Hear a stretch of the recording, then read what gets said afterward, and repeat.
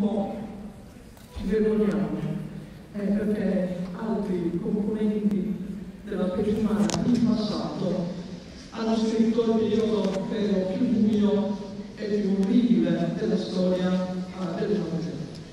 Però dobbiamo andare avanti.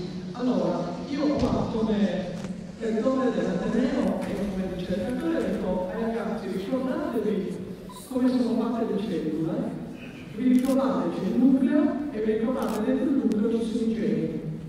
Quei geni che stabiliscono che noi abbiamo gli occhi azzurri, oppure neri, capelli biondi, la pelle chiara o gialla o nera. Bene, allora, quei geni sappiate che non esistono differenze tali nella specie umana che si possa parlare di razza. La razza umana è una sola, non ce ne sono altre. La genetica ha dimostrato in modo inconfutabile. Ragazzi, andate a fare la storia di questo nei vostri, chiedo ai vostri insegnanti, magari l'avete già fatto, orientate in questo campo. La genetica ha dimostrato in modo inconfutabile che siamo tutti nati da un gruppo di persone appartenenti alla specie umana che sono nate, non sappiamo come, chi crede lo sa, gli altri magari sono ancora dubbiosi, eh, in Africa. Siamo tutti nati da lì, non ci sono alternative. Le differenze sono nate esclusivamente perché da lì poi la specie umana ha invaso il pianeta Terra. E nell'invadere il pianeta Terra si è trovata di fronte a condizioni climatiche, a tante situazioni che hanno modificato, ascoltate bene, il 5, 10, massimo 12% della componente genetica originale. Guardate che se noi andiamo a fare la componente genetica di due di voi e li confrontiamo, le differenze saranno maggiori rispetto al fatto dei vostri geni con il vostro componente cinese o con il vostro componente africano. Ci saranno meno differenze. Allora, questo è fondamentale per tutti noi, non ci sono più incertezze nei dubbi. Cosa vuol dire tutto ciò? Di cosa stiamo continuando a parlare? Stiamo continuando a parlare non di razze, ma di razzismo, che è un'altra cosa.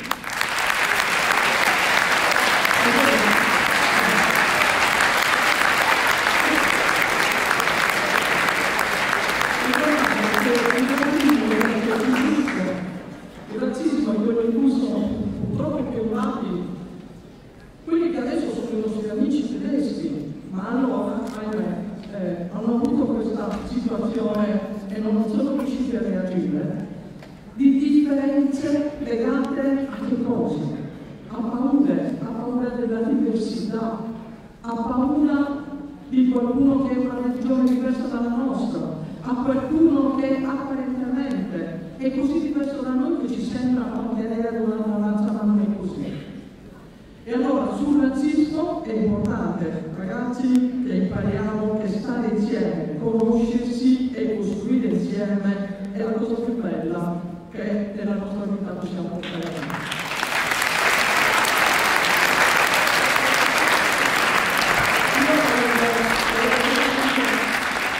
Leggervi quello che le nostre attività hanno fatto l'anno scorso e chiedere alle altre istituzioni se hanno voglia di fare la stessa cosa e noi possiamo eventualmente dare una mano con i nostri archivi e sono sicura che l'archivio dello Stato farlo.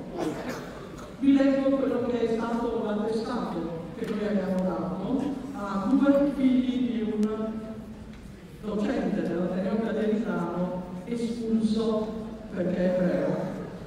In memoria delle leggi razziali italiane volute dalla dittatura fascista e firmate dal re Vittorio Emanuele III 5 settembre 1938, il rettore, a nome dell'Università di Studi di Cagliari, riconoscendo la responsabilità dell'Ateneo per gli atti che videro il mondo accademico inerte e complice verso le scelte del regime che giunsero all'emanazione delle leggi razziali, chiede ufficialmente scusa alle famiglie dei docenti allontanati dall'insegnamento universitario del 1938. Per noi Doro Levi, Alberto Pinterle e Camillo Viterbo. Obrigada.